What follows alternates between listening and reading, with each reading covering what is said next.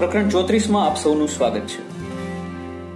બધા નગરશેઠના ઘરે આવ્યા, કારણ કે અહીંયા તો મંજીનું મકાન ને જગ્યાને બધું ખેદાન મેદાન થઈ ગયું હતું. વડીલ વર્ગ નીચે બેઠો છે, હસી ખુશીથી વાતો કરે છે. ઉપરના ઓરડામાં નવોઢા શોભા પલંગ પર બેઠી છે. વરરાજા અરુણ ઓરડામાં આવે છે અને શોભાને કહે છે, આપણા મિલનની પ્રથમ રાત્રિએ મારા તરફથી તને આ અણમોલ ભેટ. આમ કહી સોનાનું ફૂલ શોભા સમય ધરે છે. શોભા જોઈ રહે છે. આશ્ચર્યથી. અરુણ શોભાના મનોભાવ વાંચી કહે છે, શોભા, આ એ જ છે જે શિવ મંદિરમાં પ્રભુને ચરણે ધરેલું. આપણા પ્રેમની શરૂઆત કરનાર અને લગ્ન સુધી સાથ આપનાર પ્રભુના સાક્ષાત આશીર્વાદ સમૂહ આ ફૂલ છોડીને આવતા મારો જીવ ન ચાલ્યો આપણા જીવનને જોડનાર આ ફૂલનું મહત્વ ઘણું છે.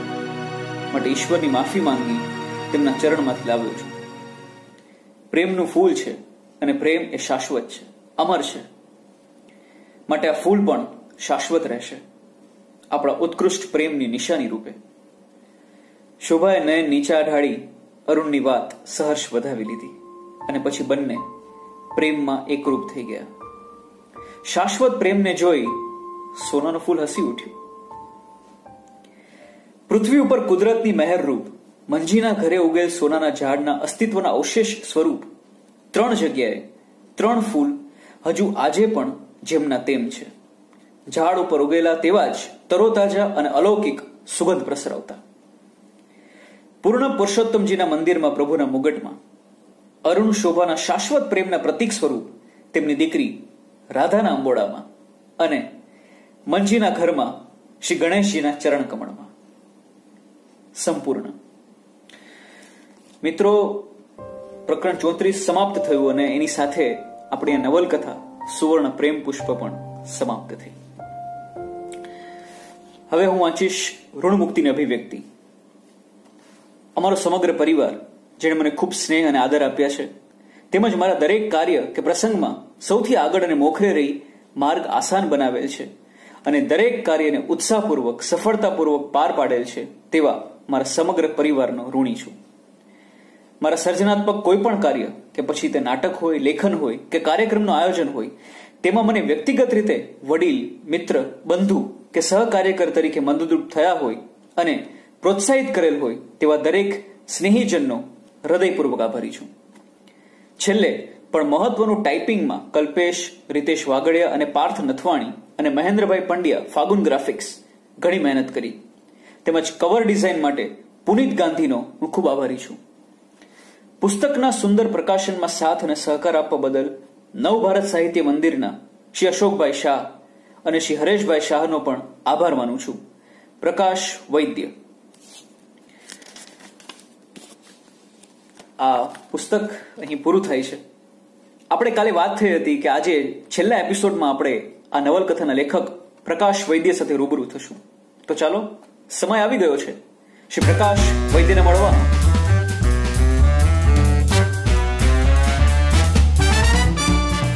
મિત્રો હાજર છે સુવર્ણ પ્રેમ પુષ્પ નવલકથાના લેખક શ્રી પ્રકાશ વૈદ્ય.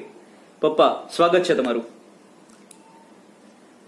પહેલા તો દર્શક મિત્રોને સર્વેને મારા નમસ્કાર.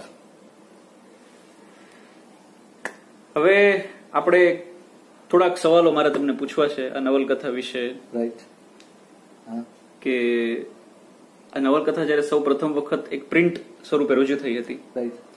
અને હવે આપણે એને એક વીડિયો બુક સ્વરૂપે રજૂ કરી. બરાબર. કે જેમાં પ્રકરણ હોય એપિસોડ વાઇઝ આપણે એની ત્રણ સિઝન કરી. હા. તો આ એક નવા પ્રયોગ વિશે આપનું શું કહેવું છે? આપને કેવો લાગ્યું? ખરું ને ભાઈ? તો મારે માટે તો એક આ આશ્ચર્યકારક ઘટના છે. કારણ કે આ રીતે નવલકથાના પ્રકરણ પ્રમાણે એ રજૂ થાય વાર્તાને અનુરૂપ એમાં ચિત્રો આવે, એમાં મ્યુઝિક પણ આવે અને લોકો એને જુએ અને સાંભળે.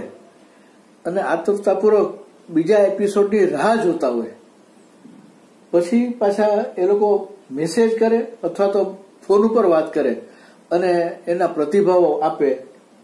એ મારે માટે તો ખરેખર એક આશ્ચર્યકારક ઘટના છે. અને નવલકથાનું આવું સ્વરૂપ પણ હોઈ શકે એ મારી કોઈ કલ્પના નથી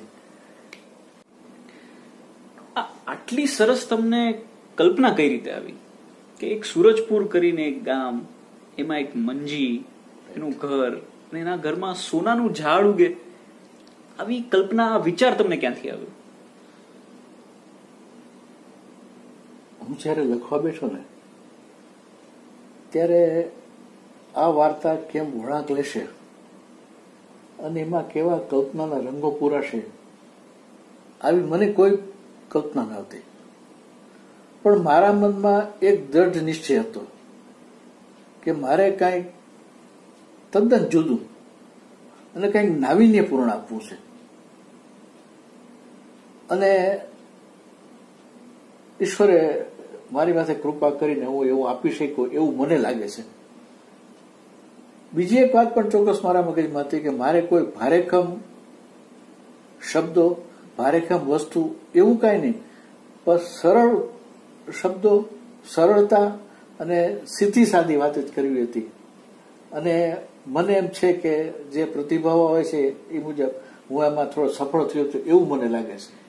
ચોક્કસ આ વાત સાથે હું સહમત થઈશ અને એક મને વાત યાદ આવી કે આ સુવર્ણ પ્રેમ પુષ્પ નવલકથાની પ્રસ્તાવના જેમણે લખી છે ફિલ્મ લેખક પ્રકાશ કાપડિયા. રાઈટ રાઈટ એમણે આ જ વાતનો કંઈક ઉલ્લેખ કર્યો છે. એ હું અત્યારે વાંચવા જઈ રહ્યો છું. હા બરાબર. મિત્રો આપને યાદ હોય તો આ નવલકથાની જ્યારે આપણે શરૂઆત કરી ફર્સ્ટ સિઝનની ત્યારે પુસ્તકની રૂપરેખાના એક વિડીયોમાં મેં આ નવલકથાની જે પ્રસ્તાવના પ્રકાશ કાપડે લખી છે એમાંથી થોડા અંશો મેં વાંચેલા.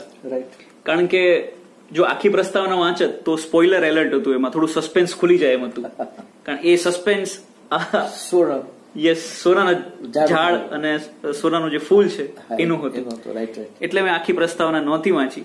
પણ આજે અત્યારે આ મોકો છે એટલે આજે આ વાંચી રહ્યો છું. જેમાં આપે જે વાત કરી એનો પણ ઉલ્લેખ પ્રકાશ કાપડે કર્યો છે. પ્રસ્તાવના. અહો વૈચિત્રમ. જ્યારે સહજ બની જાય ત્યારે કેટલી નોખી હશે? ગામ જોવા જેવું પાત્રો મળવા જેવા વાર્તા વાંચવા જેવી. ને રવિ કવિની ઉક્તિને ખરી કહેરાવતી કલ્પના. સૂરજના પ્રકાશ જેવી નક્ષિક પ્રામાણિક પારદર્શકતા. ભાષાનો છોછ નહીં, બોધનો બોજ નહીં, ને વાંચો તો અફસોસ નહીં. એવું કહું તો અતિશયોક્તિ નહીં થાય કે પ્રકાશ વૈદ્યને નિમિત્ત બનાવી ઉપરવાળાએ એક અવી, એક અવનવી એવી કલ્પના કરી જેની દાદ દેવી પડે. પ્રકાશભાઈ લખ્યું છે ને? કે સૂરજના પ્રકાશ જેવી નક્ષિક પ્રામાણિક પારદર્શકતા. ભાષાનો છોછ નહીં બોધનો બોજ નહીં ને વાંચો તો અફસોસ નહીં. એટલે આપે જે કહ્યું ને કે મારે સરળ ભાષામાં સરળ વાત સરળ રીતે રજૂ કરવી હતી.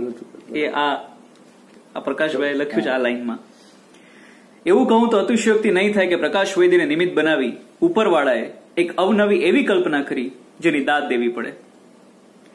સોનેરી ફૂલોનું સોનેરી ફૂલોના ઝાડનું પ્રતીક એટલે આશીર્વાદ. નિયત અને દાનત સારી હોય તો માટીમાંથી સોનું નીકળે અને ખોટી દાનત હોય તો સોનું માટી થઈ જાય એવી સહજ વાત. અઢાર વર્ષનો મંજી જ્યારે અજાણી અછૂત કન્યા માટે થઈને ઘરનો ત્યાગ કરે ત્યારે મહાત્મા ગાંધી અને મહાત્મા ફૂલેના મનોબળનો પડઘો પડે. ને એ જ દેવી જ્યારે જિંદગી આખી મંજીનું ખોરડું સાચવે ત્યારે થાય કે જગતમાં જાત તો બે જ. સ્ત્રી અને પુરુષ બાકી બધા ખોટા મનના પરપોટા. વાહ વાહ વાહ પ્રકાશભાઈ બહુ સરસ. અહીં મંજી કુંભારના ચાકડે વાર્તા જન્મે છે. અરુણ અને શોભાના ચરિત્ર સાથે મોટી થાય છે. એમના પ્રેમના પ્રણય રાગ આલાપે છે. સોનેરી ઝાડ સપનાની સફરે લઈ જાય છે. અરુણની સાયકલ સાથે ગામમાં ફરે છે. શુગાલ જેવા શામળદાસ સોની તકસાધુ નગરશેઠ બાપ. અને સરકારી અમલદારોના સ્વાર્થ સાથે કડવી થાય છે. મીડિયા સાથે આધુનિક થાય છે ને અંતે નિસ્વાર્થ પ્રેમની જીત થાય છે. આ વાર્તા જોવા જેવી છે. પ્રકાશ કાપડિયા ફિલ્મ લેખક તાનાજી બાજીરાવ મસ્તાની પદ્માવત બ્લેક સાંવરિયા. આમાં છેલ્લે જે પ્રકાશ કાપડિયાએ લખ્યું છે કે આ વાર્તા જોવા જેવી છે. એની પાછળ એક બહુ જ ઇન્ટરેસ્ટિંગ વાત છે. આપ જ શેર કરો પપ્પા. આ મને આ પ્રશ્ન થયો હતો. પ્રકાશભાઈનો આ જયારે પ્રસ્તાવના આવી એટલે એમની સાથે મારે ફોન ઉપર વાત થયેલી. એટલે મેં એમને કહ્યું મેં પ્રકાશભાઈ જનરલી પ્રસ્તાવનામાં એવું લખતા હોય કે ભાઈ આ એમ કે આ નવલકથા છે વાંચવા જેવી છે અથવા તો આ નવલકથામાં આવો કાંઈ મેસેજ છે. એવું કઈ નિર્દેશ કરતા હોય છે.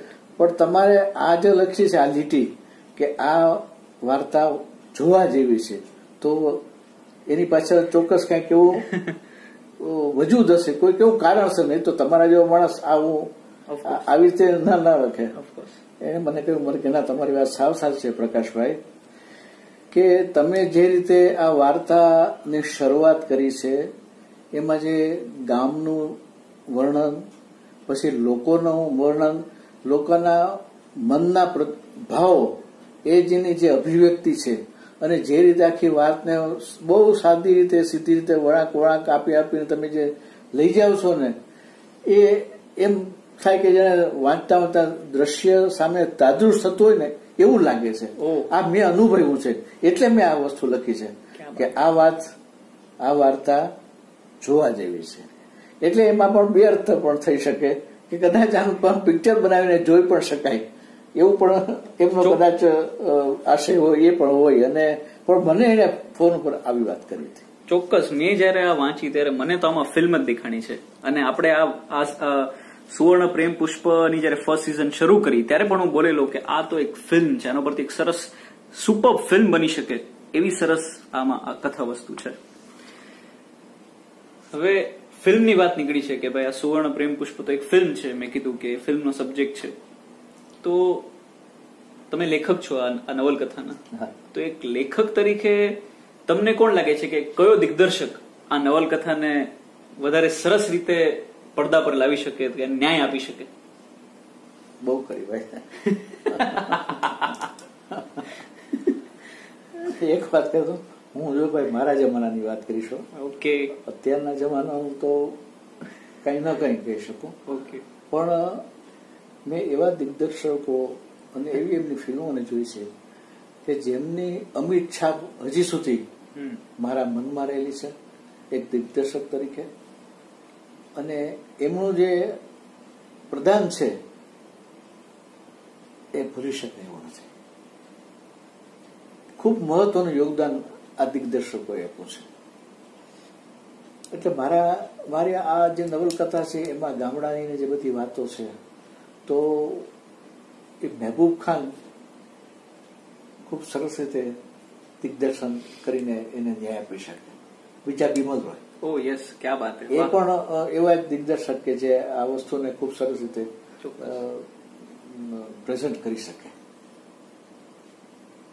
આ સિવાયમાં બીજામાં જોઈએ તો ઋષિકેશ મુખર્જી છે વિજય આનંદ છે એ પણ મને ગમતા દિગ્દર્શક ખરાઓ અને પ્રેમની વાત આમાં આવે છે તો પ્રેમની વાત માટે તો એક જ વ્યક્તિ ફિલ્મ ઇન્ડસ્ટ્રીમાં પ્રખ્યાત છે અને છે રાજ કપૂર એ જે પ્રેમની વાત લઈ આવે છે અથવા તો પ્રેમની જે રીતે એ રજૂઆત કરે છે એ તમને બીજા કોઈ પિક્ચરોમાં અથવા તો બીજા કોઈ પાસે આવું જોવા ન મળે. એટલી સરસ રીતે અને બહુ સાહજિકતાથી એમ રમતા રમતા વાત કરી જાય ગો શું વાત છે શું છે. એટલે રાજ કપૂર સાહેબ ખરા છે. બીજા જેને કલાગુરુ કહેતા હવે શાંતારામ પણ ખરા છે. સાચું. આ બધા દિગ્દર્શક ખૂબ સારું કામ કર્યું છે. ગુરુદત્ત ગુરુદત્ત પણ ખરા હા જો એ સારું મને યાદ કરે મને ગુરુદત્ત પણ ગમે. ગુરુદત્તનો મને કાગસ કે ફૂલ પિક્ચર ખૂબ ગમેલું. પ્યાસા એક ખૂબ સારું હતું. પણ મને પ્યાસા કરતા કાગસ કે ફૂલ વધારે ગમે. એમ. અને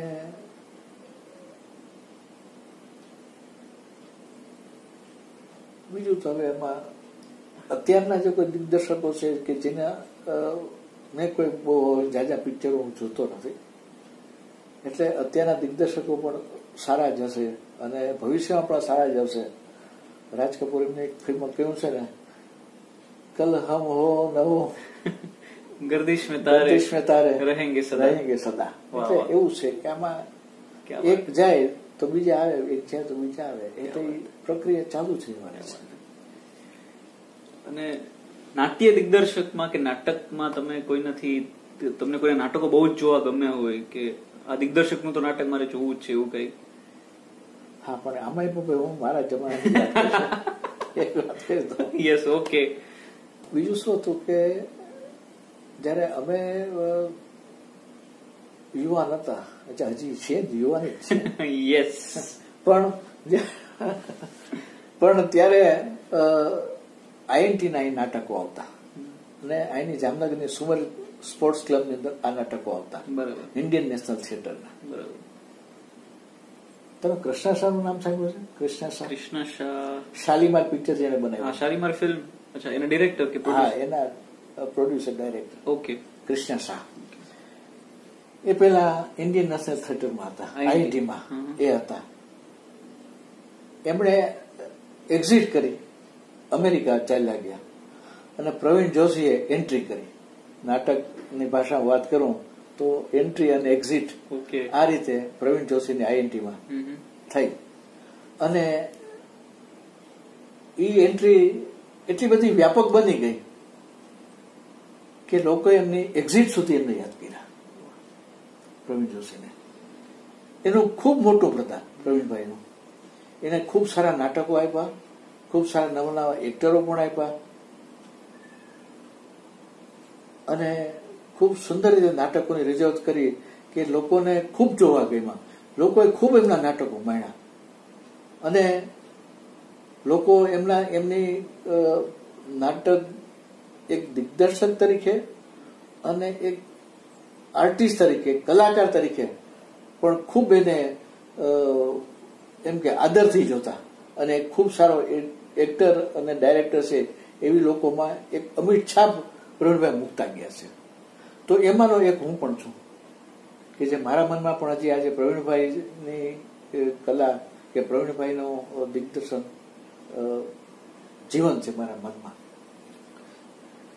આજના યુગમાં પણ ખૂબ સારા ગુજરાતી નાટકોના દિગ્દર્શકો છે જ. નથી એવું નથી. અને ભવિષ્યમાં પણ બીજા સારા દિગ્દર્શકો આવશે જ. એટલે હું આમાં કોઈ કોઈની ટીકા ટિપ્પણી કે એવું કોઈ નથી કહેવા કરતો. પણ જે મને મને ગમ્યું છે એની વાત કરું છું માત્ર. હું કોઈનો વિરોધ કે કઈ કે પેલું કઈ કરવા નથી માંગતો. મારા મનની વાત છે એ જ હું કહું છું કે મને શું ગમ્યું બરાબર. શું ગમે. બરાબર. મેં પ્રવીણભાઈનો ફોટો પણ સાચવીને રાખ્યો છે. અચ્છા. એ છે મારી પાસે. વાહ. બતાવું. પ્લીઝ. અરે વાહ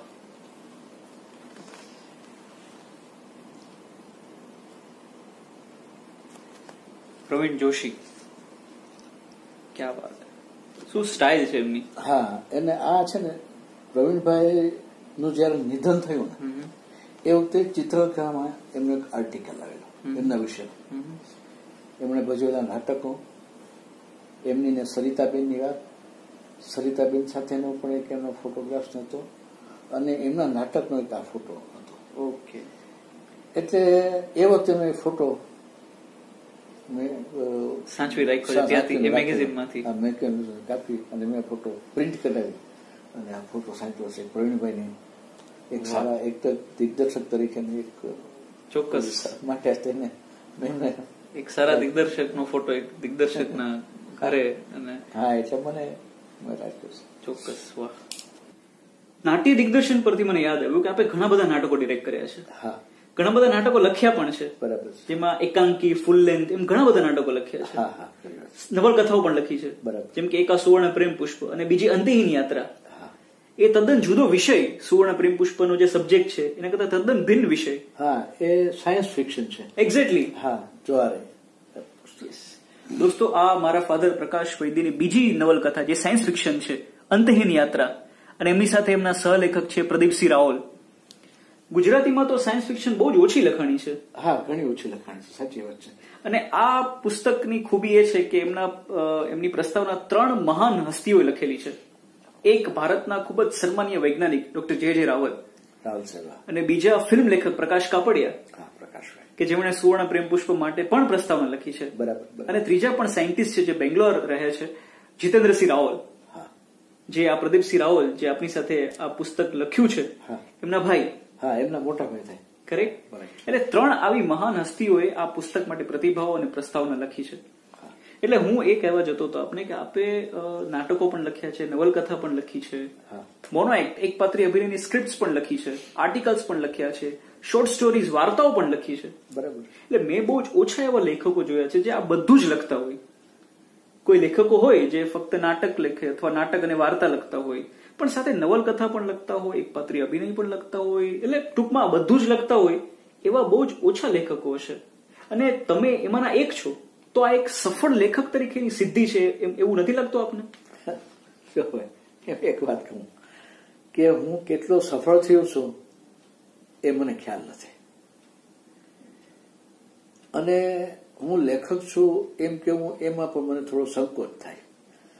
કારણ કે આપણું સાહિત્ય ક્ષેત્રે એવું મોટું કોઈ પ્રદાન નથી કે જે મને કોઈ લેખક તરીકે પ્રસ્થાપિત હું થઈ શકું એવું. છે.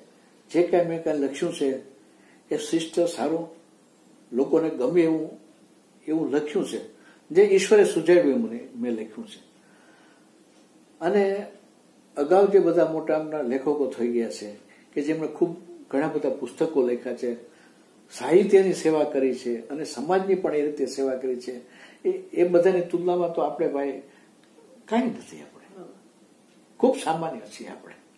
એટલે મને લેખક છું એમ કહેતા પણ મને થોડો સંકોચ થાય છે.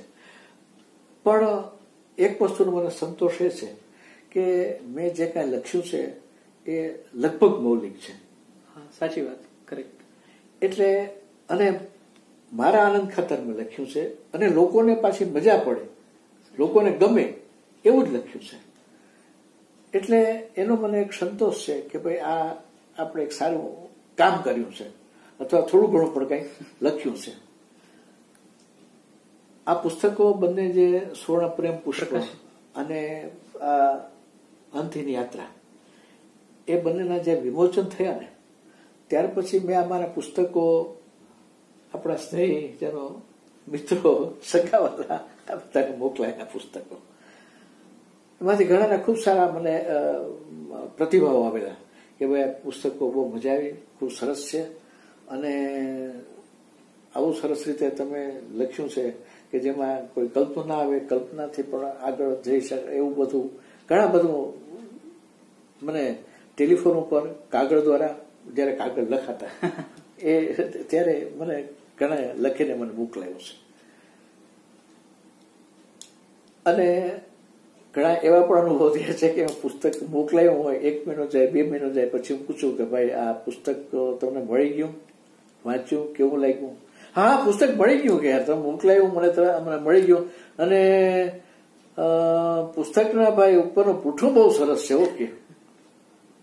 એટલે હું એને કહું કે જો તમને પૂઠું ગમ્યું હોય અને સરસ લાગ્યું હોય ને, તો એ બે પૂઠાની વચ્ચે જે પ્રિન્ટેડ લખાણ છે ને, એ સમય મળે તો વાંચો તો એ પણ મજા આવશે. આવું પણ હોય ને કહું ખરો.